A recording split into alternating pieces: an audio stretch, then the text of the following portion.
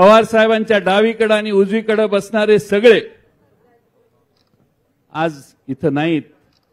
याचं दुःख आणि शल्य हे आमच्या मनाला साहेबांना म्हटलं साहेब पाच वर्ष कधीच सुट्टी घेतली नाही. आता सुट्टीचा टाइम आलेला आहे. तुम्ही जो निर्णय घ्याल तो मला मान्य आहे. ज्यांनी ज्योतिराव फुले आणि सावित्रीदेवी फुले यांची चेष्टा केली त्यांच्या मांडीला मांडी लावून जाऊन बसायला लागला. हा महाराष्ट्राला तुम्ही काय उत्तर देणार ते मला सांगा. देऊ साहेबांनी पहिलं नाव छगन भुजबळांचं घेतलं. त्यावेळी बडवे आडवे नाही आले. बोलायला बऱ्याच गोष्टी आहेत. मला वाद घालायचा. सर्वांचं साहेब तुम आगे बढ़ो दैवत.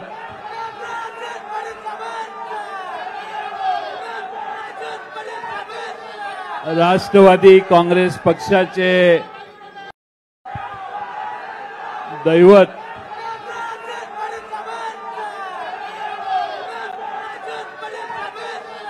राष्ट्रवादी काँग्रेस पक्षाचे राष्ट्रीय अध्यक्ष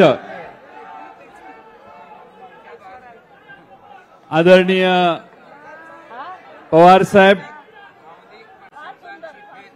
व्यासपीठावरील सर्व खासदार आमदार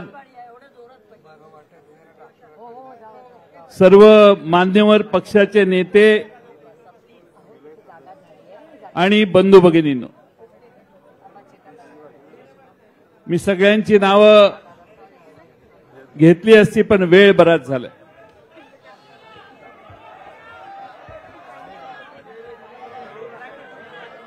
हे स्क्रीनवर बघा स्क्रीनवर. तिथं जागा नाहीये इथं हेच व्यवस्थित आहे. आणि म्हणून आपल्या सर्वांचं स्वागत करताना तुमची किती अडचण झाली आहे याची मला आणि आम्हा सगळ्यांना जाणीव आहे. या ठिकाणी बसायला जागा नाही आहे. इथले वरांडे भरलेले आहेत. चौथ्या मजल्यावरचा हॉल पूर्ण भरलेला आहे. खाली ग्राउंडला असणारा हॉल पूर्ण भरलेला आहे. रस्त्यावर माणसं आहेत. पोर्च मध्ये माणसं फार मोठ्या प्रमाणात आहेत. रस्त्या बिल्डिंगच्या दोन्ही बाजूला. आपल्या सगळ्यांची अडचण झालेली आहे. पण आपल्याला तातडीनं ही मिटिंग घ्यायची होती. पाऊस असल्यामुळे षण्मुखानंद हॉलमध्ये घ्यावी अशी आमची भूमिका होती पण षण्मुखानंद हॉल अकरा बारा पर्यंत उपलब्ध नव्हता तारखेपर्यंत. आणि म्हणून आपल्याला तातडीनं सगळ्यांना एकत्रित करण्यासाठी आज थोडीशी तुमची सगळ्यांची अडचण झाली. मी तुम्हा सगळ्यांचं कौतुक करावं तेवढं पहिल्यांदा थोडं आहे. पक्षाकडून एक साधा निरोप गेला. तुमच्यापैकी बहुसंख्य कुणाला मी देखील फोन केले नाही. फक्त राष्ट्रवादी काँग्रेस पक्षाची पवार साहेबांनी मिटिंग बोलवलेली आहे. एवढ्या एका एस एम एसला व्हॉट्सअपला एका छोट्याशा फोनला तुम्ही सगळ्यांनी एवढी किंमत दिली. कुणावरही इथं फोर्स नाही आहे कुणाला बांधून ठेवून इथं आणलेलं नाही. गाड्या देऊन वाहतुकीची व्यवस्था करून आम्ही कुणाला इथं बोलवलेलं नाही. इथला प्रत्येक कार्यकर्ता स्वतःच्या खिशाला तोशी देऊन इथंपर्यंत गडचिरोलीहून भंडारा गोंदियाहून आणि नंदुरबारपासून इथंपर्यंत आलेला आहे. त्या सगळ्यांना मी मानाचा पहिल्यांदा सलाम करतो. तुम्ही पवार साहेबांच्या प्रेमासाठी इथं आला म्हणून तुमचं सगळ्यांचं अभिनंदन. आपल्या सगळ्यांना आयुष्यामध्ये अनेक प्रसंगाला पवार साहेबांनी तोंड दिलेलं आपण पाहिलंय. संकट किती आली तरी पवार साहेबांनी विचलित न होता त्या सगळ्यांचा सामना दिला आणि प्रत्येकातून बाजी पलटवण्याचं काम पवार साहेबांनी आयुष्यात अनेक वेळा केलेलं.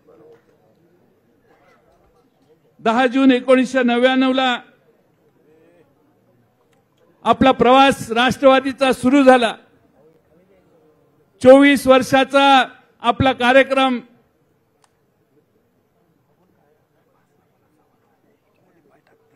षण्मुखानंद हॉलमध्ये झाला. कदाचित आपल्यातले बहुसंख्य त्यावेळी उपस्थित असतील नसतील. पण प्रचंड मोठ्या प्रमाणात आपला तो कार्यक्रम आपण केला.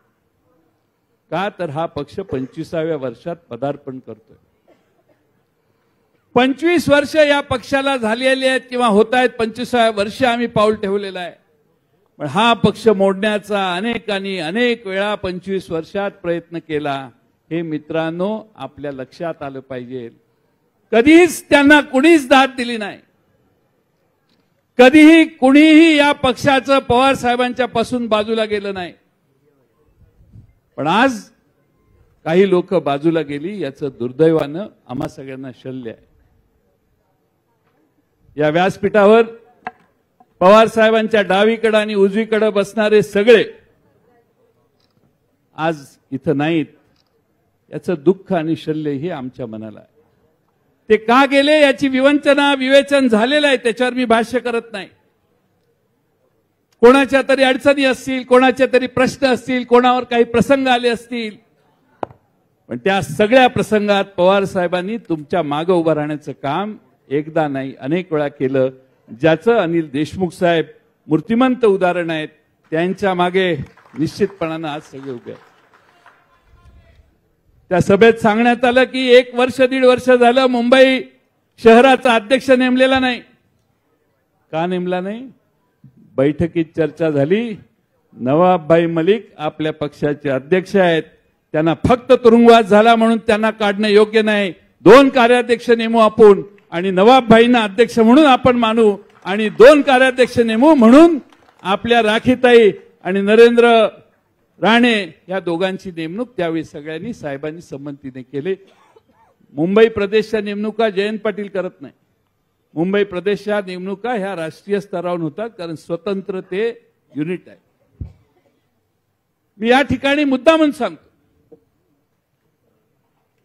मला पाच वर्ष झाली. मलाही माहीत होतं. पाच वर्ष एक महिना झाला.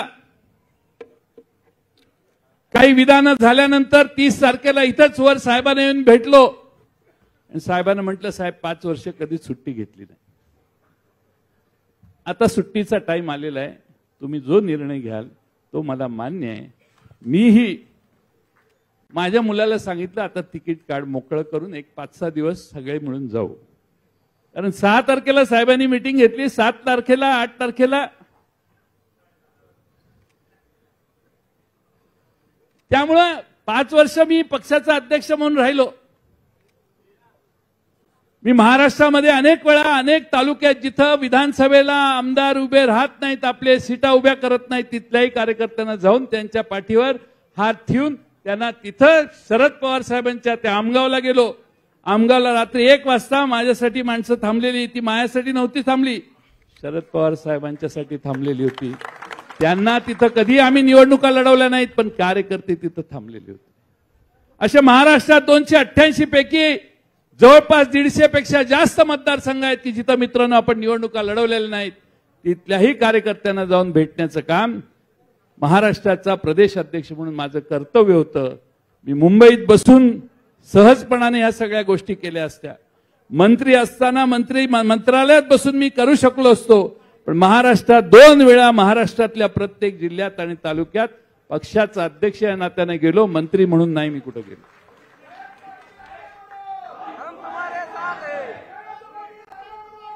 आज आज आज आमच्या बरोबर अनेक लोक होती.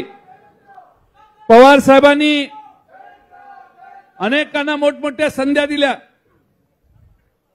पण आता विठ्ठलाच्या सभोवताली बडवे आहेत ते आम्हाला भेटून देत नाहीत असं आता सांगायला लागले. पवार साहेब दोन वर्षाचा तुरुंगवास भोगून पुण्याला त्यांचं आगमन झालं. त्यावेळी त्यांच्या डोक्यावर फुले पगडी तुम्ही ठेवलेली होती. आठवतं का बघा? महात्मा फुलेंच्या विचाराची ती पगडी त्यांच्या डोक्यावर ठेवली. त्यावेळी बडवे आडवे नाही आले. त्या फुलेंच्या पगडीच्या खाली तुमच्या डोक्यातनं ज्योतिराव फुलेंचा विचार निघून गेला. तुम्ही त्या डोक्यातला विचार फुलेंचा काढून टाकला आणि ज्यांनी ज्योतिराव फुले आणि सावित्री देवी फुले यांची चेष्टा केली त्यांच्या मांडीला मांडी लावून जाऊन बसायला लागला. हा महाराष्ट्राला तुम्ही काय उत्तर देणार ते मला सांगा. कशाचा? काही लॉजिक आहे? कशा पद्धतीनं चालले? बडवे बडवे जर आडवे येत होते तर शिवाजी महाराजांच्या साक्षीनं शिवतीर्थावर दोन हजार एकोणीसला सरकार स्थापन झाल्यावर पहिली शपथ शिवा शिवतीर्थावर लाखो लोकांच्या साथीनं उद्धव ठाकरेंच्या मंत्रिमंडळात घेताना इथंच वर पवार साहेबांना मी म्हटलं उद्धव ठाकरेजी मला विचारतायत तुमची दोन नावं द्या. साहेब कोणती नावं देऊ? साहेबांनी पहिलं नाव छगन भुजबळांचं घेतलं. त्यावेळी बडवे आडवे नाही आले. बोलायला बऱ्याच गोष्टी आहेत. मला वाद घालायचा नाही. पण तुम्हाला महाराष्ट्राच्या जनतेच्या मनात गैरसमज नसावा म्हणून हा खुलासा मी फक्त केलेला आहे. आणि त्यामुळं आज देशामध्ये काय चालू आहे? पक्षांच्या चोरी करणाऱ्या लोकांचा एक थैथयाट चालू आहे. एका पक्षाची चोरी झाली. जे आडवा येतो जो प्रश्न विचारतो तो आम्हाला आवडत नाही त्याचा पक्षच काढून घ्यायची तयारी आम्ही करतो. आज शिवसेनेच्या बाबतीत जे झालं तेच आज राष्ट्रवादीच्या बाबतीत करण्याचा मानस काही लोक ठेवून काम करायला लागले आहेत.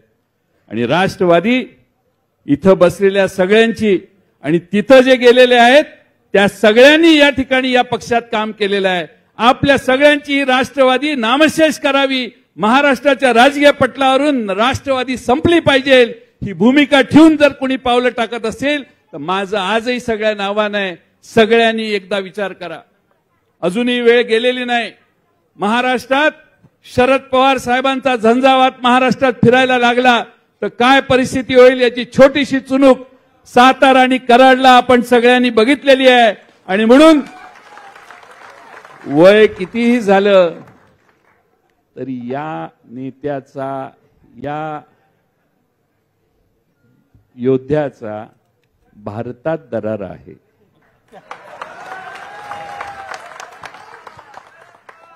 आमची चूक काय? आमची चूक काय? पवार साहेबांच्या शब्दाच्या पलीकडे आम्ही जात नाही एवढीच माझी चूक आहे. माझी त्याच्यापेक्षा काय चूक आहे?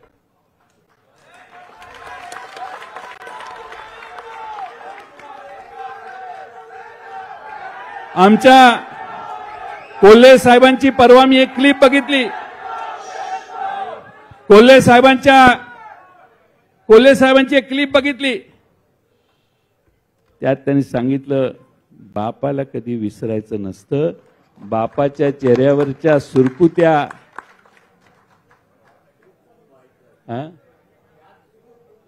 त्या चूक होऊन पाहायचं असतं. आपल्या वृद्ध बापाच्या चेहऱ्यावरच्या सुरकुत्या या त्याच्या कष्टामुळे निर्माण झालेल्या आहेत. एवढी तर मनात लक्षात मनात ठेवा काहीतरी. आज त्यांच्या त्याच क्लिपमध्ये उल्लेख आहे. साहेब म्हणतील ते तोरण. बांधतील ते तोरण आणि म्हणतील ते धोरण. माझा मोह आहे पक्षात चर्चा केल्याशिवाय करणं बरोबर नाही. पण आता जरा गर्दी पक्षातली कमी झालेली आहे. त्यामुळं त्यामुळे मला जो काही थोडा बहुत अधिकार आहे कोल्हे साहेब तुम्ही माझ्या पक्षाचे प्रचार प्रमुख व्हा अशी माझी तुम्हाला विनंती. सगळ्या महाराष्ट्रभर फिरू. सगळ्या महाराष्ट्रात फिरू आणि छत्रपती शिवाजी महाराजांचा संभाजी महाराजांचा स्वाभिमानी बाणा महाराष्ट्राने कसा जपलेला आहे हे सांगायचं काम तुम्ही करा. सगळा महाराष्ट्र पवार साहेबांच्या आणि राष्ट्रवादीच्या मागे उभा राहिल्याशिवाय राहणार नाही. हा माझ्यासारख्या लहान कार्यकर्त्याचा विश्वास आहे.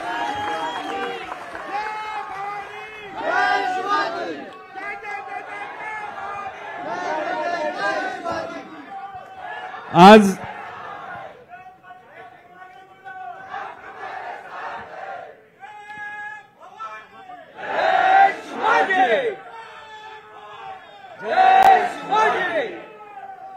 आता मला अलीकडे एक नवीन काळजी पडलेली आहे. अजून खातं वाटप झालेलं नाही रोहित पवार. काळजी ती नाहीये मला. काळजी ही आहे की उद्धव ठाकरेंची साथ सोडून जे चाळीस जण गेले त्यांची तक्रार काय होती?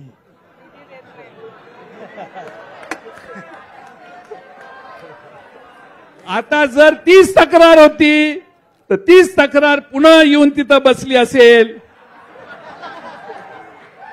तर उद्धव ठाकरेंच्या सगळ्या आमदारांच्या मनात आज परत फिरायचे वेध लागलेले आहेत ही काळ्या दगडावरची लेख लिहून घ्या मी तुम्हाला. मी महाराष्ट्राच्या विधानसभेत चौतीस वर्षे आता चौतीस नव्वद सालापासून आहे. एवढी अस्थिरता एवढी आमदारांच्या मनात घालमेल एवढी भीती आजपर्यंत महाराष्ट्राच्या इतिहासात मी कधी बघितलेली नव्हती. मी लहानपणापासून राजकारण बघतोय. मला सत्याहत्तर अठ्याहत्तर साली दहावीत होतो. तेव्हापासून जरा बऱ्यापैकी राजकारणाचा वेध आहे. आजपर्यंत एवढी कधी अवस्था नव्हती. राजकारण कोणत्या स्तरावर जायचं? आणि म्हणून अमोल कोल्हेंच्या मनात आलेला विचार हा मायासारख्याचाही विचार मनात येतो. कशासाठी हे राजकारण? काही मर्यादा काही तत्व काही भूमिका काही धोरण काही दिशा ही माणसाच्या आयुष्यात कायम पाहिजेत. आपण जर या सगळ्याच गोष्टी सोयीस्कर आपण सोडायला लागलो तर मग आपल्याला माग आपल्या फॉलो करणारे आपण वर गेल्यावर आपल्याबद्दल काय म्हणतील? आपण याचाही विचार केला पाहिजे. आणि म्हणून माझ्यासारख्या कार्यकर्त्याला आज सगळ्यांना विनंती आहे की आपल्या सगळ्यांना या ठिकाणी मोठ्या संख्येनं आलायत. महाराष्ट्रात सगळ्यात मोठा पक्ष कुठला आहे? भारत. विधानसभेमध्ये माझा शब्द तर पूर्ण होऊ दे. एकशे पाच आमदार आहेत एकशे पाच आमदार. एकशे पाच आमदार आहेत. चाळीस आमदारांचा मुख्यमंत्री आणि नऊ मंत्री मला वाटतं. इकडून आता किती गेलेले आहेत त्याचा अंदाज नाही कारण बरेच आमदार साहेबांना फोन करून सांगतात साहेब दोन दिवसाने येतो साहेब येणारच आहे साहेब तुमच्याशिवाय आमचं काहीच नाही साहेब तुमच्याशिवाय कधीच काही करणार नाही. अशांची संख्या हळूहळू वाढली. आता काहीतरी काल थोड्या बहुत आठ नऊ काहीतरी मंत्रीपदाच्या शपथ झालेत. पण सगळ्यात मोठा पक्ष महाराष्ट्रात जो आहे एकशे पाच. त्यांचे मंत्री किती? आठ आठ. म्हणजे एकशे पाच मध्ये आमचे राधाकृष्ण विखे पाटील तर आपल्याकडून तिकडे गेले आहेत त्यामुळे सात राहिले. गावित साहेब मंत्री आहेत ते गेले तर सहा राहिले. अरे एकशे पाच मधल्या निष्ठावंतांना चार आणि पाच लोकांनाच मंत्री. म्हणजे दुसऱ्याची कबर खोदता खोदता आपली कबर खोदायचा कार्यक्रम महाराष्ट्रात चालू आहे. प्रत्येकाला सांगायचं आता थांबा आपण ते फोडतोय आपण हे फोडतोय तुम्ही थांबा गडबड करू नका. ते येत आहेत. अरे ते निष्ठावंत आहेत. खडसे साहेब तुम्ही मला वाटतं योग्य वेळी त्या पक्षातनं आमच्याकडे आला. आणि त्यामुळं माझ्यासारख्या कार्यकर्त्याची आपणा सर्वांना विनंती आहे. साहेब बोलणार आहेत मी जास्त वेळ घेत नाही. पण आमच्या महाविकास आघाडीला तीन पक्षाची गाडी रिक्षा गाडी असं हिनवलं जातं. पण आमच्या रिक्षावर रिक्षा एवढी चांगली चालत होती की आपण पण रिक्षात बसलं पाहिजे म्हणून त्यांनी आधी दोन म्हणजे दुचाकी होती. शोलेमध्ये सिनेमा बघितलाय. तो अमिताभ बच्चन त्या बाजूच्या सीट कारमध्ये बसायचा. आणि कोण? धर्मेंद्र मोटरसायकल चालवायचा. आणि मग मध्येच ती तुटायचं आणि असं तिकडे जायचं आणि परत कुठेतरी येऊन मिळायचं. हे काय चाललंय? ठीक आहे. मी त्याच्यावर बोलत नाही. आज माझ्यासारख्या कार्यकर्त्याला पवार साहेबांनी सहा तारीख उद्या सहा तारीख आहे. उद्या मला सुचवलेलं होतं की जयंत आपल्याला बदल करावा लागेल. सगळ्यांना बोलून घेईन मी आणि चर्चा करून निर्णय करेन. साहेब म्हटलं आत्ता सांगा माझा काही प्रॉब्लेम नाही. पण ह्या घटना मधल्या काळात झाल्या. मी साहेबांना सगळ्यांच्या देखत खरं म्हणजे अशा जाहीर सभेत अशा चर्चा करायच्या नसतात. त्या जाहीर सभेत चर्चा करण्याचा प्रघात मागच्या सभेत पडलेला आहे म्हणून मी सांगतो. मला कानात जरी सांगितलं असतं ना मला व्हायचंय. त्याच ठिकाणी भाषण करून मी सांगितलं असतं. काय प्रॉब्लेम नाही. मला आता बाद झालंय. अजून कोणाला तरी द्या. आणि म्हणून माझी आपल्या सर्वांना मला माझ्यापासून गेलेल्या सगळ्यां कुणाचा बद्दल माझा आधार नाही. मी तीस वर्ष काम केले बरेच वर्ष काम केले. पण एखादा क्षण असा येतो की माणूस विचलित होतो. त्या क्षणातून त्या माणसानं आपल्याला सावरलं पाहिजे. आणि आपण आपलं जे मूळ आहे त्या मुळाकडे पुन्हा जायला पाहिजे. ही भूमिका मानसिकता माणसांनी ठेवली पाहिजे. आज तशी दिसत नाही. आणि म्हणून माझी या ठिकाणी एवढीच विनंती आहे की आपण सगळे या ठिकाणी मोठ्या संख्येनं आलो. मी आपल्याला एक शपथ देणार आहे. आपण सगळ्यांनी हात पुढे करून ही शपथ उभा राहून घ्यावी. बस- बसा बसा बस. तुम्ही उभं राहू नका तुम्ही उभं राहू नका. नुसती ऐका शपथ. तुम्ही फक्त खाली बसून म्हणा. फारुखबाई नीचे बैठो. मी आज ईश्वर साक्ष शपथ घेतो की मी आज ईश्वर साक्ष शपथ घेतो की? आदरणीय शरद पवार साहेबांच्या अध्यक्षता आणि नेतृत्वाखालील आदरणीय शरद पवार साहेबांच्या अध्यक्षता आणि नेतृत्वाखाली राष्ट्रवादी काँग्रेस पक्षासाठी राष्ट्रवादी काँग्रेस पक्षासाठी मी माझ्या जीवात जीव असेपर्यंत कार्यरत राहीन. मी माझ्या जीवात जीव असेपर्यंत कार्यरत राहील आदरणीय पवार साहेबांच्या पासून दूर गेलेल्या कृतज्ञपणाने लोकांना मी कधी साथ देणार नाही. आदरणीय पवार साहेबांपासून दूर गेलेल्या कृतज्ञ लोकांना कधीही साथ देणार नाही. पवार साहेबांच्या विचारासोबत प्रतारणा होईल असे कोणतेही कृत्य मी करणार नाही. पवार साहेबांच्या विचाराशी प्रतारणा होईल असे कोणतेही कृत्य मी करणार नाही. आणि पवार साहेबांच्या विचाराच्या मी पवार साहेबांच्या विचाराच्या मार्गावरून मार्गावरून आयुष्यभर चालण्याची आयुष्यभर चालण्याची मी आज गांभीर्यपूर्वक प्रतिज्ञा करत आहे. मी आज गांभीर्यपूर्वक प्रतिज्ञा करत आहे. मला काही कुणाला मला काही कुणाला चॅलेंज करायचं नाही. पण पण जाता जाता जाता जाता एवढंच सांगतो. की आपण इथून जाताना खडसे साहेबांनी ज्याचा उल्लेख केला तसं ताकदीनं काम करायला सुरुवात केली पाहिजे. मी बूथ कमिट्या बूथ कमिट्या फक्त बूथ कमिट्याच करत होतो असा मला कोणीतरी म्हटलेलं दिसतंय आज. अरे बूथ कमिट्या केल्याशिवाय पक्ष वाढणार नाही हे मी नाही नरेंद्र मोदी साहेब म्हणतायत माझं काय? बूथ कमिट्या हा आमचा बेस आहे म्हणून माझा तो कायम आग्रह राहिलाय आज नाही पाच वर्ष सतत करतोय. आणि म्हणून सरफरोशी की तमन्ना अब हमारे दिल में है। देखना है जोर कितना बाजुए कातिल में है।